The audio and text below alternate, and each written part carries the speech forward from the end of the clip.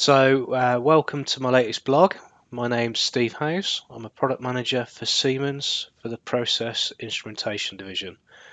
And today we're going to be looking at um, one of the option license for Simatic PDM, so Process Device Manager. This is following on from previous blogs. So um, if we just have a little bit of a refresher. So previously we covered the basic and service license so here we have the service license, which is uh, 54 tags. We've also covered the extended license and the functionality that that gives you. So now we're going to look at the HART multiplexer license. So again, this is um, a bolt-on option that can only be added to the basic license. Um, that is your building block. So if you can remember back to the first blog, we can't upgrade the single tag to this license. So part number's there and it does what it says on the tin. It's there to support HART multiplexers. So what we're going to show you is um, how to set that up and the additional software tool that you get with PDM for configuring that. So the, the HART multiplex uh, that we're going to use is the new add-on card for the Simatic RTU 3030. So this particular version um, has got a uh, 4G card in and you can see the bolt-on card here. So this is the built-in web browser. So I'm connected to the spare Ethernet port on this um, to configure it and you can see here my HART communications. The card also supports um, Modbus 485 connections. So if I go to my expansion card, I need to set that up. So I've, I've, I've activated it. And then this is the important thing for, for HART pass-through, HART IP. We need to activate that and we need to make a note of this port number. If we leave this set at the default, this is the default port number for HART pass-through. I can test that here. So again, I have my LU240, which I've used on previous demos connected to this. And it's POLD address 0.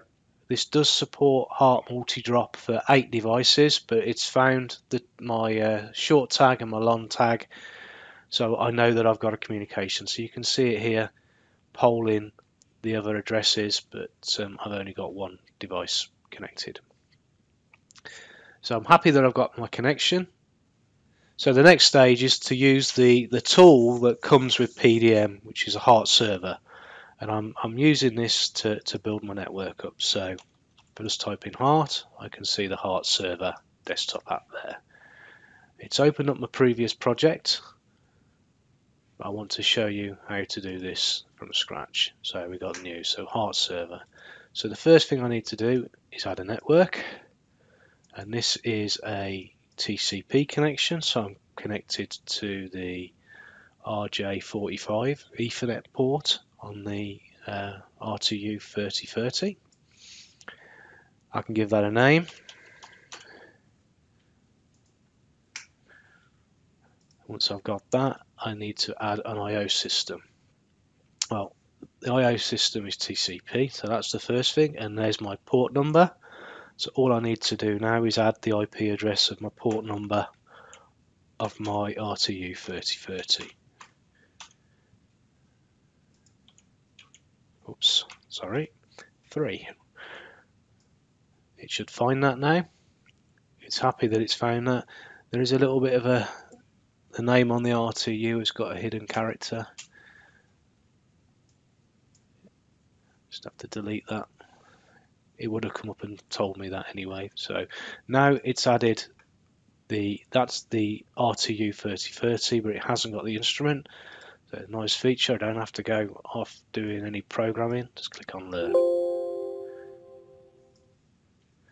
And this is now going to go and find all of the devices connected to that RTU 3030. Um, it hasn't got a, a built-in database of uh, files knowing exactly what the instrument is, but at this stage, I'm not bothered. I just need it to find the device, and it will use standard HART commands to talk to that device. So there it is, the same tag again. So that's my long tag. If I double click that, it will start reading the process values from the device. I'll see these populating in the background. So I need to keep that project um, open, okay, uh, before I move on to, to PDM. So once I've uh, established and saved my, my HART server program, um, if I'm using this regularly, of course, I can put this to auto start in Windows, but um, I need it open, and then I'm going to open up PDM standalone. And I'm going to call this project, a new project, I call it HART Server. Right, so I can see my networks here, similar to before. Insert new network. And this time it is going to be a HART server. Okay. And if I click right click the HART server, I can see this option that says synchronize. So it's going to look at the HART server program in the background.